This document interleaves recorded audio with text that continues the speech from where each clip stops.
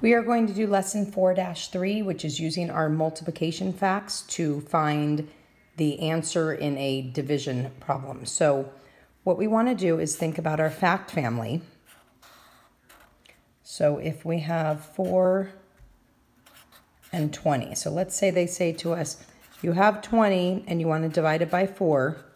What is 20 divided by 4? We have to think to ourselves, our biggest number in the division problem, the first one, goes at the top. Then we have our two multiplication facts on the bottom. So we think to ourselves, 4 times what equals 20, which is 5, right? So we know that 20 divided by 4 equals 5.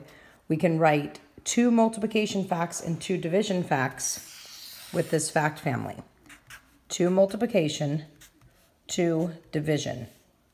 We always write the number that's at the top of our mountain here is the product of our multiplication and the dividend of our division. It has to get set up by that, like that every time.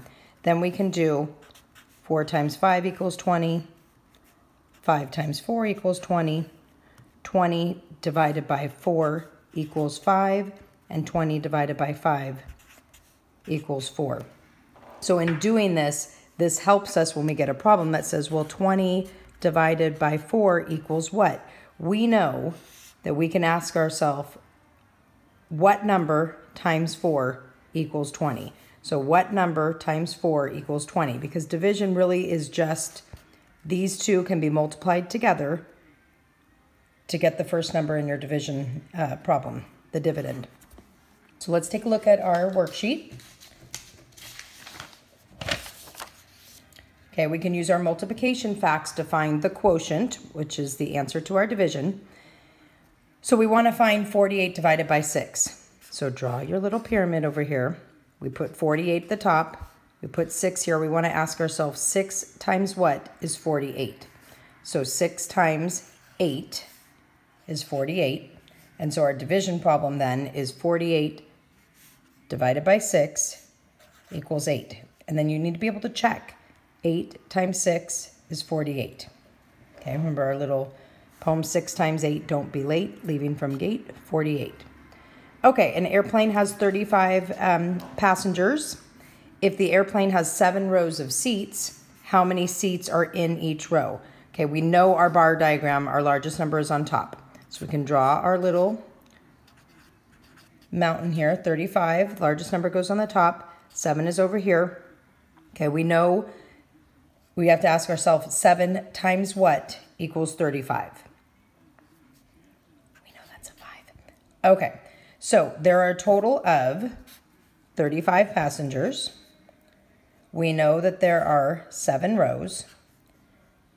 One, two, three, four, five, six, seven. So each one of these is a row, and we can go 5, 10, 15, 20, 25, 30, 35. So 7 times 5 equals 35. There are 5 seats in each row.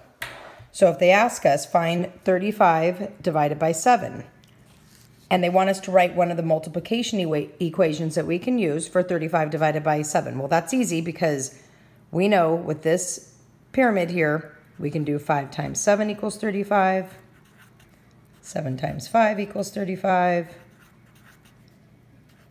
35 divided by 5 equals 7, and 35 divided by 7 equals 5. So 7 times 5 equals 35, therefore 35 divided by 7 equals 5. There are 5 seats in each row. Okay, Caleb is making a lemonade, making lemonade for a party. He needs 6 lemon slices to make a glass of lemonade. So each glass of lemonade has 6 lemon slices in it. He starts out the day with a total of 48 lemon slices. How many glasses of lemonade can he make? Well, we don't know how many glasses. We know that each one is going to have six in it. So we can just keep putting six in there until we get to 48. Or we can make our fact family triangle, our largest number 48 being on the top. Six is going to be one of the factors. We ask ourselves six times what equals 48? And we know that that's eight. Okay, but we could always check here. Four of these sixes is 24.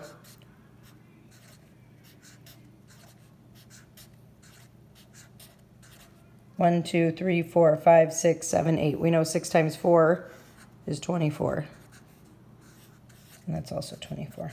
Okay, but with our fact family here, I'm going to go to the next page so I have some space.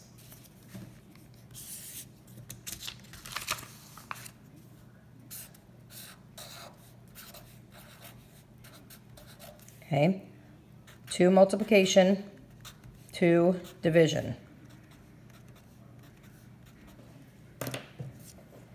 With this 48,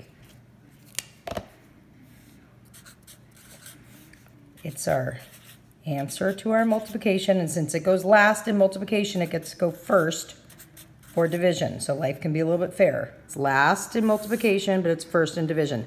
Then we take these two numbers and they can be flip-flopped 6 times 8 is 48. 8 times 6 is 48. 48 divided by 6 is 8. 48 divided by 8 is 6.